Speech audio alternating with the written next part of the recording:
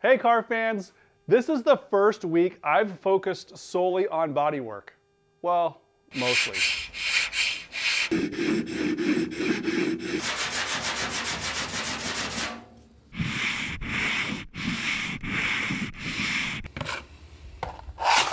In addition to sanding, my 911 gets a gift this week. I'm gonna show that to you. And I'm also gonna show you some details, like kind of nagging details about like how to make the jack spur look better on a hot rod like this. And also what to do with those little torsion bar hole covers. A couple things like that, but a lot of sanding. Yay! Garage time. I've just been shaping this um, torsion bar cover thing and uh, I got it to fit the car pretty well.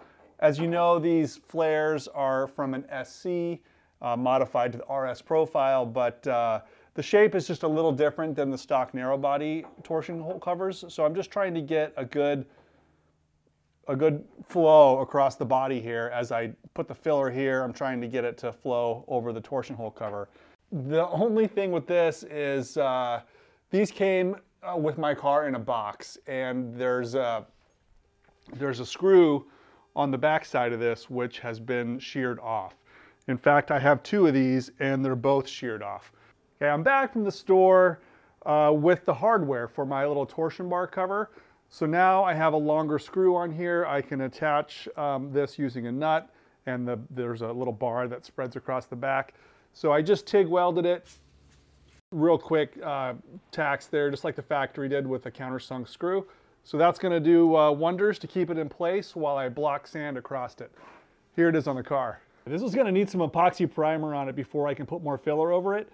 But uh, you know, right now it's basically holding itself in place.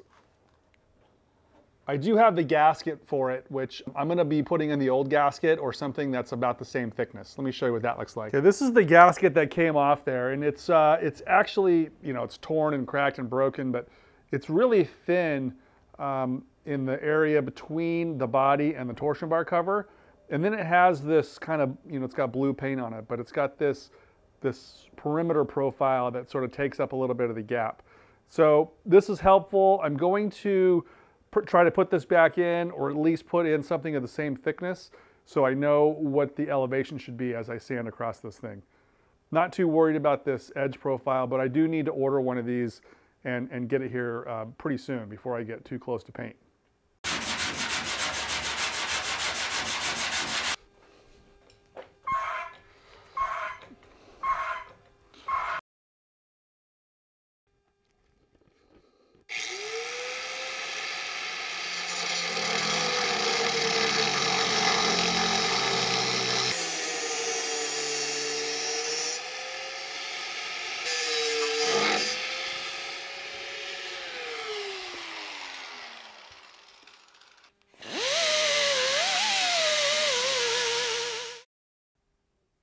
I think that looks infinitely better than uh, the jack spur sticking out. So I tried to sort of follow the same angle as the door and um, you know, I like it shorter like that.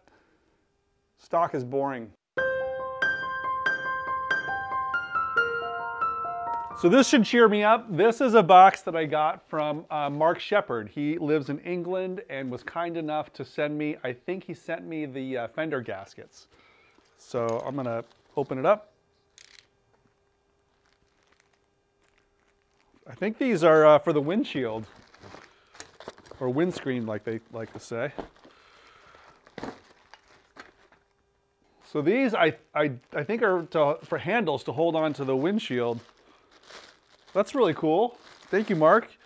Um, yeah, yeah, like the, put, when you're putting the windshield in and holding it, I think that's cool. So there's three of these um, or to scale a building or something. I don't know. That's that's awesome. I don't think they're dent pullers. I think they're for uh, for glass.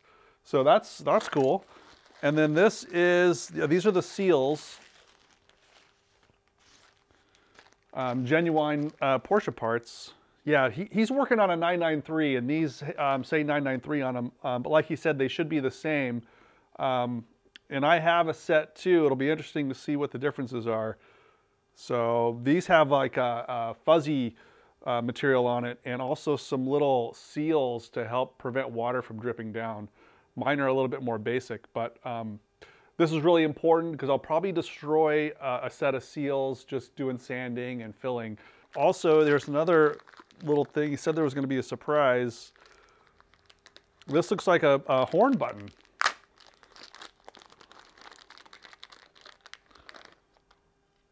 Oh wow, this is yeah, this is really nice. So this is a um, like a leather embossed Porsche button for um, for the Momo steering wheel. You must have seen my uh, Momo adapter. So yeah, I do have a Momo steering wheel. Actually, I got two steering wheels. I'm gonna go I'm gonna go run up and, and grab those real quick and, and check it out. Thank you, Mark. This is awesome. Really appreciate your support. I'm gonna go get the wheels. What, you don't keep your car parts in your closet? There's a close-up of the horn button. Super cool. Um, really looks nice. I had a horn button for this, but it was like a, a really cheesy Taiwanese kind of Porsche emblem. So this is uh, much, much nicer. So it really looks cool. So here's one, this is the Momo wheel that I have. You know, it's not exactly a period correct wheel and it's it's kind of on the smaller side. It's uh, three, I think 350 millimeters. But um, yeah, so that's an option. This will bolt right on my car. I have the adapters and stuff. And then I also have this wheel, which is bigger. Um, I think this is 380 millimeters and it has a much bigger center cap, center thing and I don't have any horn button for this. So what I could do is make a um, you know machine and adapter here that would even allow this to work. So either wheel I, I use, I would love to use this horn button. Really cool. Thank you, Mark. Okay, here's a look at the seals. This is the uh, the new one Mark sent me, and then these are some older ones I've had in, laying in a box for a long time. So these are labeled as, yeah, 911, uh, you know, 503. But these are um, quite a bit different. So you can see the heights are, are quite a bit different. And then also, if you look at the, the width of the bead is a little different too. And then the thickness, the portion that goes between, which is what's important for me at the moment, um, this is really pretty thin. And then this one is, is much thicker. I mean, part of it is due to it's fuzzy, but it also has these little ribs on it. So this, these are good options. Actually, having different seals available are really helpful. So if, if you are trying to fit your panels and you need something to push it out a little bit, I would definitely recommend this seal.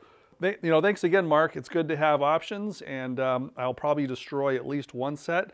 Or what I might do is just measure this thickness and just put something in there that's the same thickness.